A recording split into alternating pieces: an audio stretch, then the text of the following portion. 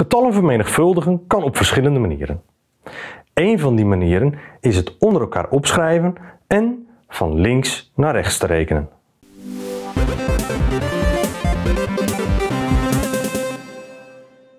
Als eerste voorbeeld nemen we de som 37 keer 58.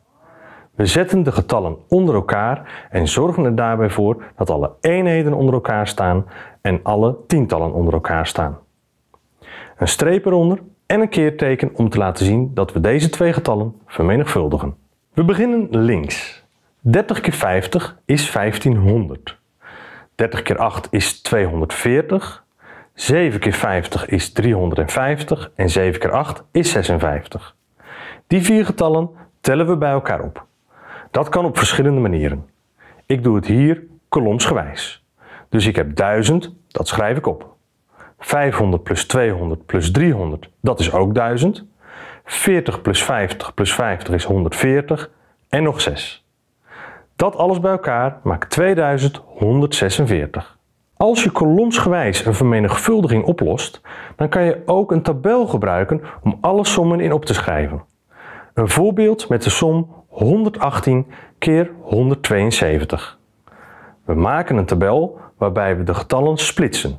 Dus 170 en 2 en 110 en 8. Nu vermenigvuldigen we alle getallen met elkaar. 100 keer 100 is 10.000. 100 keer 70 is 7000. 100 keer 2 is 200. 10 keer 100 is 1000. 10 keer 70 is 700. 10 keer 2 is 20. Dan 8 keer 100 is 800. 8 keer 70 is 560. En 8 keer 2 is 16. Dan tellen we alle uitkomsten die onder elkaar staan bij elkaar op. Als laatste stap tellen we alle getallen die naast elkaar staan bij elkaar op voor ons uiteindelijke antwoord van 20.296. Het voordeel van deze manier van vermenigvuldigen is dat het mooi en overzichtelijk is. Wel moet je er goed op letten dat je bij het splitsen niets overslaat. Zo kun je twee getallen keer elkaar doen van links naar rechts. Je kan natuurlijk ook het tegenovergestelde doen. Dat is vermenigvuldigen van rechts naar links. Als je die manier ook wilt uitproberen, dan hebben we daar een aparte video voor. Voor nu, bedankt voor het kijken. Vergeet deze video niet te liken, te delen en je op ons kanaal te abonneren. Graag tot de volgende keer.